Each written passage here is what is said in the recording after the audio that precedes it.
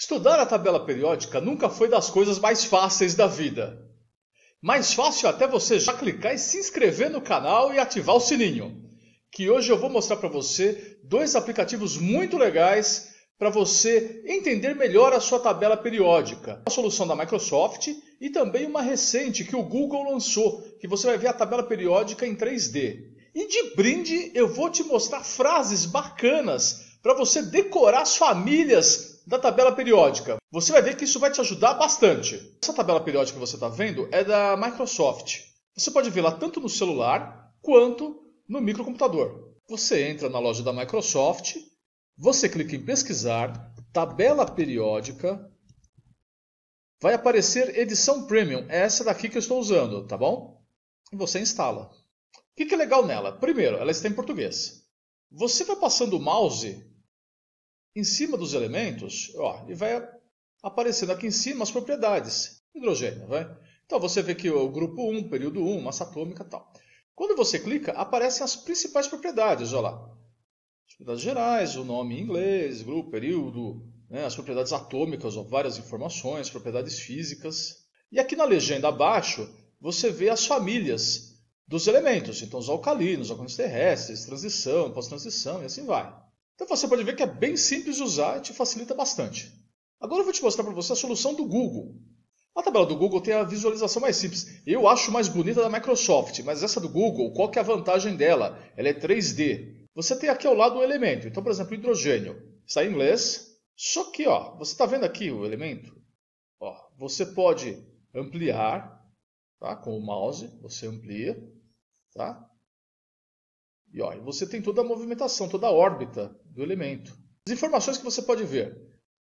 O hidrogênio é o elemento mais comum do universo, tem o símbolo H, a massa atômica é 1, e aí vai. Tá? Foi descoberto por Henry Cavendish ó, em 1766.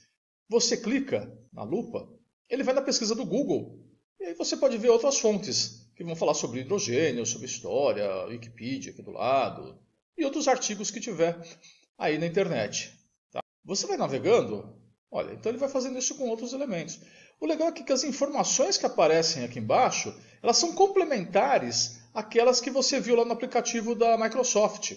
Lá tem informações mais técnicas, mais precisas. E aqui você tem algumas informações históricas, às vezes tem até piadinhas aqui no meio. Tá? É bem interessante também. Ó. E tem essa vantagem de ter essa característica 3D, que aí você pode visualizar como é que é o elemento.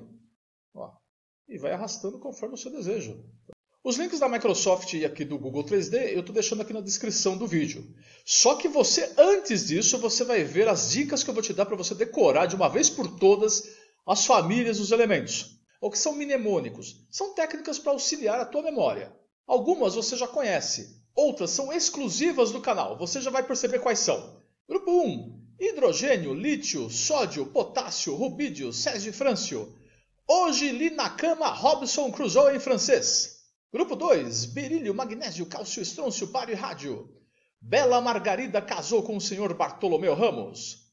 Grupo 3, escândio, ítrio, lantânio, actínio. Sócios ignorantes lavam ácaros.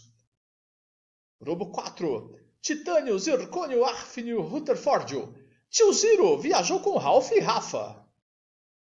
Grupo 5, vanádio, nióbio, tântalo e dubínio. Viu Nobel, ele tá débil. Grupo 6, cromo, molibdênio, tungstênio e ciabórgio. Creunice morou com Walter Sargento. Grupo 7, manganês, tecnécio, rênio e bório.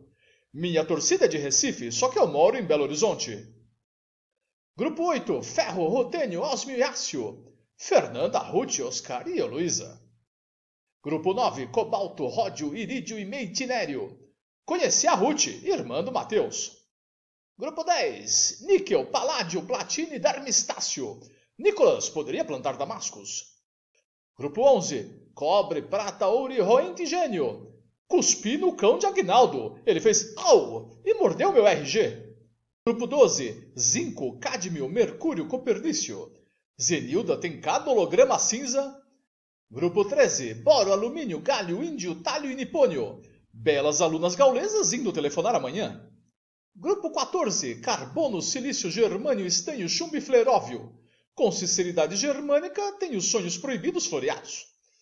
Grupo 15. Nitrogênio, fósforo, arsênio, antimônio, bismuto e moscóvio. Não é possível assar saborosos Big Macs.